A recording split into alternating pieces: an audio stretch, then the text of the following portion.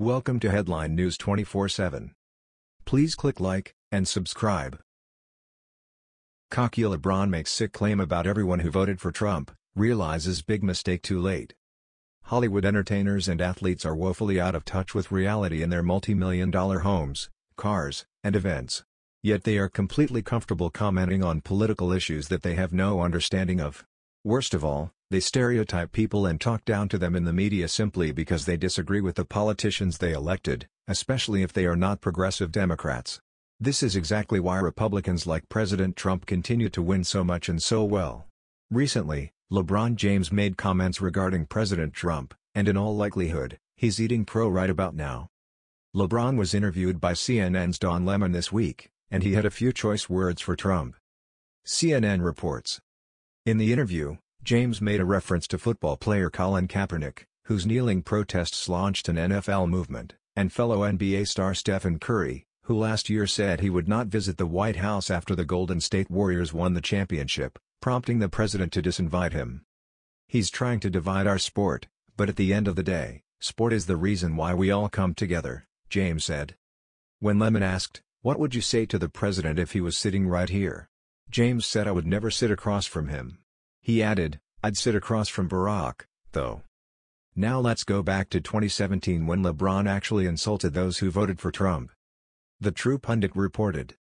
NBA All-Star LeBron James seems unaware of the fact that insulting a large percentage of your fans as ignorant morons because of their political affiliations leads to ruin, a hard lesson that the NFL is very quickly realizing.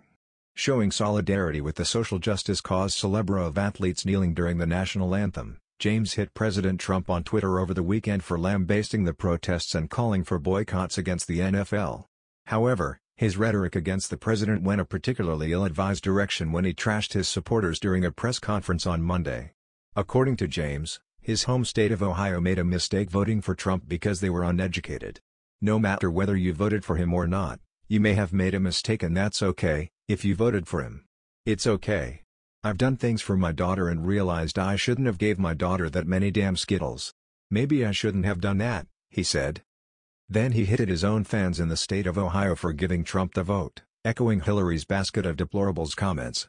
At the end of the day, I don't think a lot of people was educated, he said.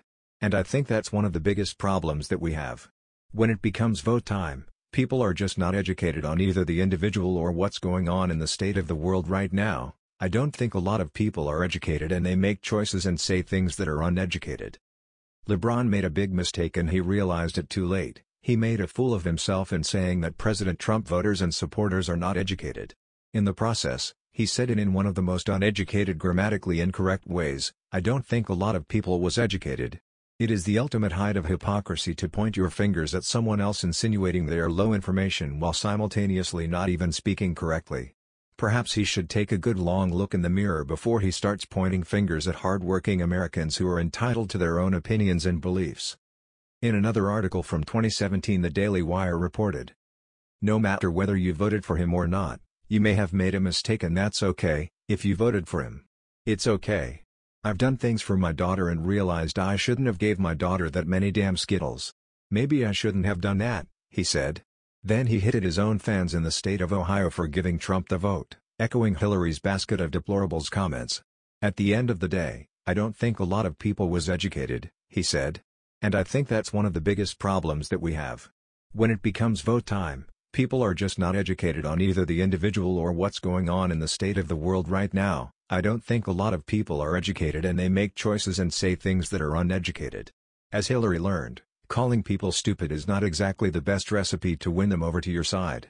To LeBron, though, whether the states were educated or not matters little to him, because in the end, they all made the mistake of not voting for Hillary. And am I saying that the people of Ohio wasn't educated? He pondered. Am I saying that some of the other states that voted for him was uneducated? They could have been or they could not have been. But that doesn't mean it was the right choice.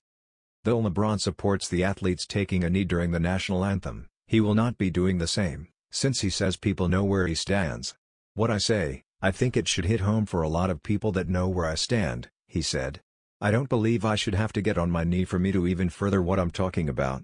LeBron also does not believe that kneeling for the national anthem represents any sort of hostility against the United States, saying that it's not about disrespect of the flag and our military and everybody who has made this world free.